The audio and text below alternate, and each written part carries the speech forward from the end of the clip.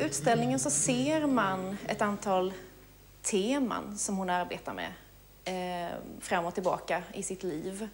Eh, ämnesområden som intresserar henne eh, och som hon återkommer till. Och det är till exempel eh, livet på, på gatan, som jag har valt att kalla I gatans rytm. Därför att där arbetar hon eh, ibland i ett helt skissblock med att försöka fånga vad som händer ute på gatan. Folk i rörelse, någon som väntar. Eh, och det är oavsett om hon befinner sig i Paris 1912, i Afrika, Senegal 1948 eller om, om hon är ute och reser på 70-talet eh, mot slutet av sitt liv. Vera Nilsson räknas till en av de stora människoskildrarna i den svenska 1900-talskonsten. Ända fram till sin död 1979 var hon verksam och starkt engagerad mot orättvisor, krig och förtryck i världen. Nu visar Moderna Museet i Stockholm en utställning med hennes teckningar, skisser och målningar. Vad är det då som fascinerar när det gäller Vera Nilssons konst?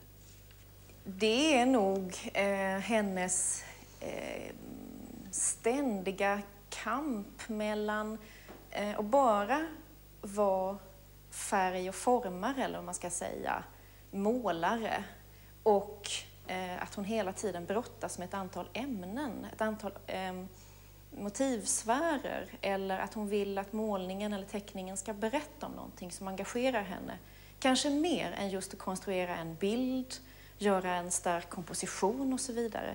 Utan hon, hon brottas med vad som ska ta överhanden. Alltså bildbyggandet eller budskapet. Eh, så det, det, är väl det som fascinerar, fascinerar mig och som vi kan se i hennes skisser hur hon arbetar kring. Det är olika saker kan man väl säga. Vissa saker lämpar sig bäst i oljemåleri och andra saker lämpar sig bäst i teckning. För teckning är, det är ju nära människan eh, och det är nära henne. Det går fort ehm, och det, det kan präglas av stundens ingivelse på ett annat sätt än om man håller på med olja.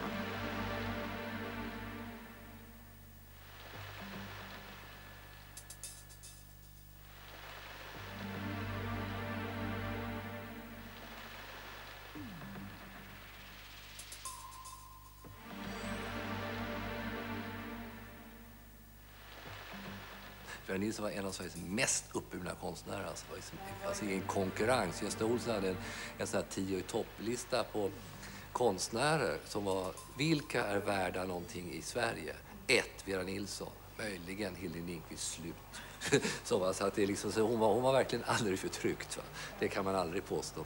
Hon hade ont om pengar, men det, hon var smålänning och moralistisk och eh, upprätthöll en, en, en, en, en, en, en, en, en, en knapp livsföring för att hon ansåg att det skulle vara så. Va? Och det, det, det är viktigt, det är en moralisk sak där som hon har i sitt sätt att vara på. Hon var också oerhört återhållsam med att sälja målningar, visa målningar. För det, skulle liksom, det fick inte vara någon slags fusk med sånt. Va? Det måste vara precis, det måste stämma precis. Ingenting som man inte kan stå för, man måste stå för sina handlingar. På det sättet var hon ju en oerhört stark person, va? jämt. Det fanns inga ursäkter sen att man hade ont om pengar eller att man var 75 år eller sådär. Det var inga ursäkter. Utan det var, det, samma gällde hela tiden. Va?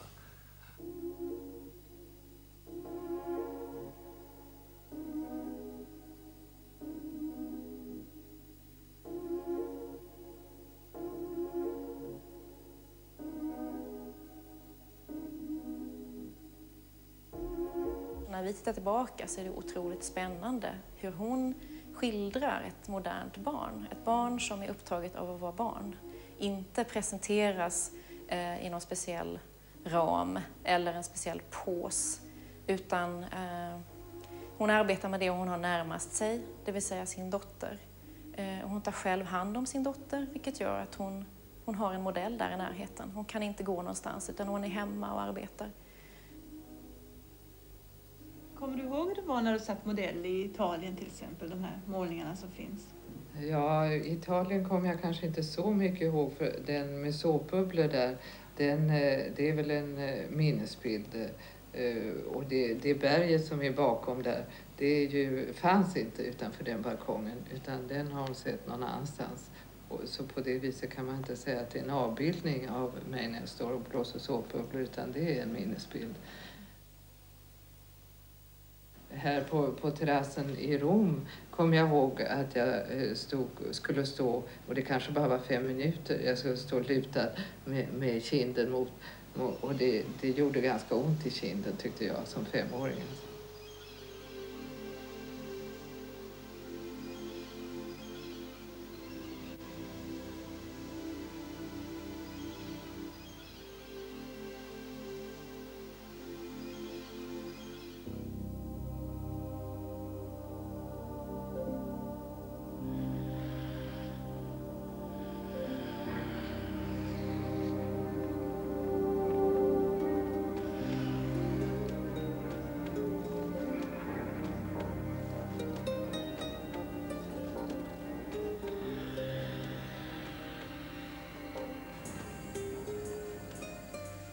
Det är en, en väldigt modern bild och det är en, en, en målning som handlar om eh, modernitet och att leva i en urban eh, miljö. Och det hon sätter centralt i den här fantastiska eh, färgstarka röd-svarta målningen, det är ett barn, en flicka som eh, inte har något hem utan gatan är hennes hem. Och det är en scen som man upplever i Malaga och som, som hon arbetar länge i olika skisser. Människan finns i ett sammanhang. Människan upplever en situation. Det är centralt, det finns genom hela skissmaterialet och genom hela måleriet.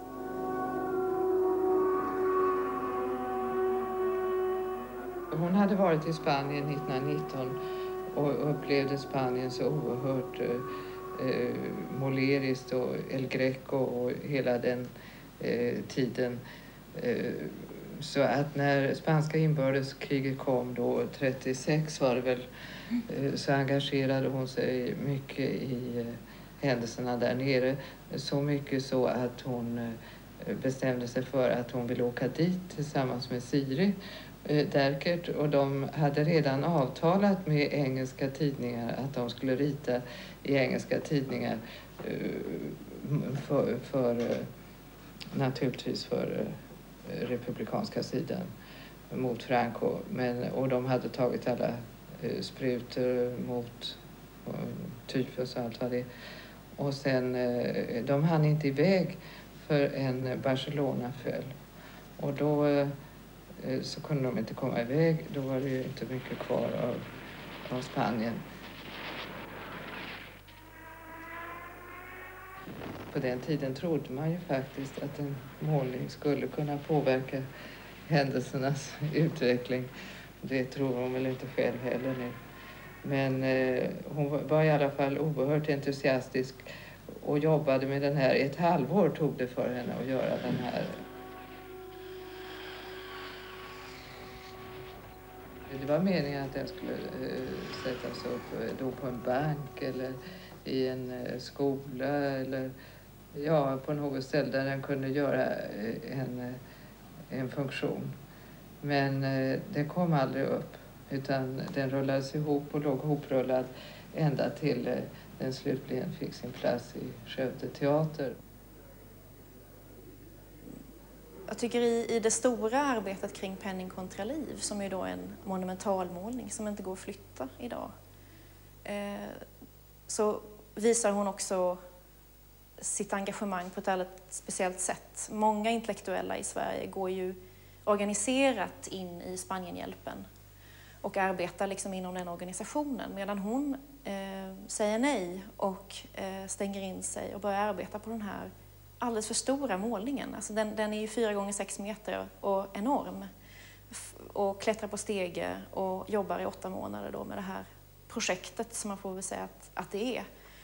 Och det är en fredsappell och den ska ses av människor ute på stan. För det är också eh, en väldigt stor del av, av Vera Nilssons konstnärskap, tycker jag, och det är att hon försöker nå ut eh, med, sin, med sin konst. Hon är engagerad av de situationer där konsten finns. Och hon ser också sammanhang där konsten inte finns, där den behövs. Som till exempel tunnelbanan byggs i Stockholm på 50-talet. Och hon ser framför sig, men det här är fantastiska lokaler. Här skulle man kunna ställa ut konst. Här kommer folk att stå och vänta och titta rakt in i en vägg. Många minuter, timmar, dagar av sina liv. Eh, här kan vi ju konstnärer eh, komma in och göra någonting. Och lyckas då övertyga eh, trafikborgarråd och vad det är för några i, i Stockholms eh, kommun och Stockholms stad att eh, satsa på att engagera konstnärer i tunnelbanan. Så det är så det börjar.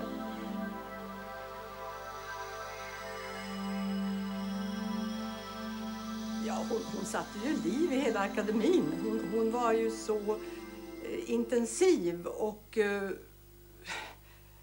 intresserad av många frågor och tog upp så många frågor. Eh, och drev dem ju ganska hårt. Hon, hon, det var alltid väl underbyggt. Hon, hon, hon tog reda på allt om de saker som hon drev. Så att ofta så fick hon ju igenom väldigt viktiga saker. Hon hade en ställning så att hennes ord hade verkan. När hon, både när hon talade med politiker och eh, olika myndigheter. Och hon sa ofta det att, eh, eh, eller lät påskina att har man de möjligheterna så måste man jobba för, för de yngre som inte har dem. Och um, um, hon sa också att man ska inte tro att man bara kan ha en topp i konstlivet. Man, för att ha en topp måste man ha en stor bas och så måste man vårda basen.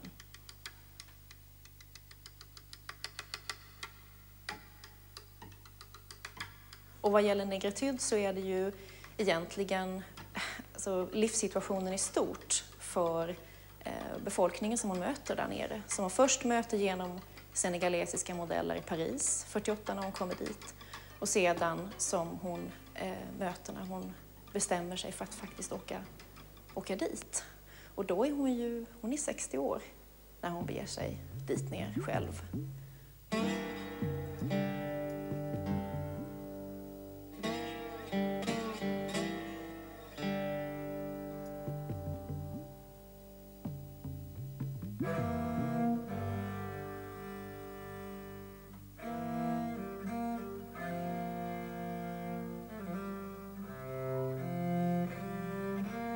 50-talet är betecknar den här resan där negritydrörelsen puttar ner henne in i sig själv.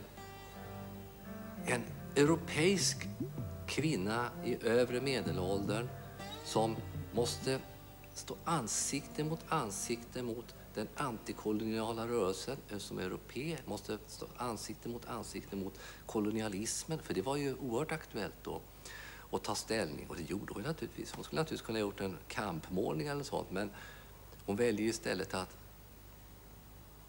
som europeisk konstnär nå det som är radikalt i det europeiska och möta det afrikanska. Det är egentligen den enda riktiga vägen. Jag upplever det här som Vera Nilssons sätt att äntligen så att säga forma kubismen till något helt eget. Jag uppfattar, jag skulle i grund och botten kalla det för kubistiska målningar. Det är Vera Nilssons kubistiska målningar och de är kubistiska därför att de inte ser ut som Picasso och Braque. Men det är exakt samma armering, exakt samma kärna. Vera använder ju kubismen till att sluta bilderna, så hålla ihop dem. Så.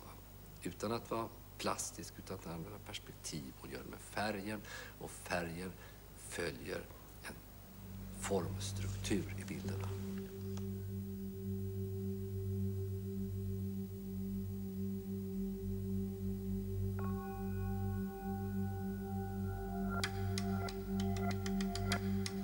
Det är som att sitta på ett snabbtåg och så se på bilder. Bilder, det behöver ju tid, bara tid, Ja. tid, tid. Om det hänger på en vägg och så kommer det fram så småningom alltså. Ja, och det är det jag menar, att den vinner med tid. Och här kan den ju inte vinna med tid. Och därför är det en paradox att eh, visa måleri i film. Detta är på 70-talet. Jag ska skriva en artikel för Folket i Bild. Och eh, då besökte jag henne på Hornsgatan och eh, hon duk, hade dukat upp i hela sin ateljé med målningar på golvet. Och eh, så satt hon inte fram någon stol utan hon satt huka hela tiden på golvet. Så jag kravlade omkring och fick ont i knäna. Och så satte hon sig och sa att jag, jag, jag kommer inte att berätta någonting. Så. Och så tog hon genast upp en cigarett och så rökte hon och tittade på mig. Och så frågade, såg hon vad jag gjorde och så tittade hon så här. Tittade på den så. Ja, så jag. Då ska jag berätta sånt. Så gjorde, nej, jag ska inte berätta sånt. Så hade hon berättat lite grann redan. Och så tände hon en ny cigarett. Så höll det på så där timme ut och timme in. Det var mitt möte med Vera Nilsson. Det var ju bara, jag kommer inte ihåg exakt, men det var inte så långt innan hon dog. Men hon var fruktansvärt eh, vital och kraftfull och driven av nyfikenhet. Iver. Mm. Jag tror, jag tror alltså att Vera Nilsson är en sån konstnär som efter många andra sorters konstnärliga uttryck under många år, där det kommer nu en ung generation som tar till sig och omvärderar och lär sig av nytt. Jag tror att en sån som komplicerad konstnär, mångskiktad konstnär ska jag säga, som Vera Nilsson kan vara intressant därför att det finns en sån så mycket mer under den själva förnissade ytan än bara en färgklanger eller något sånt. Utan det finns mycket mer. Det, alltså det, detta är, är, är konst som en angelägenhet för henne själv och för alla andra. Och inte i första hand som tidsvittne utan som slags mänskligt vittne. Det låter väldigt stort men det, måleriet har funnits länge så det har liksom rätt att ta sådana ord i sin mun om det vill.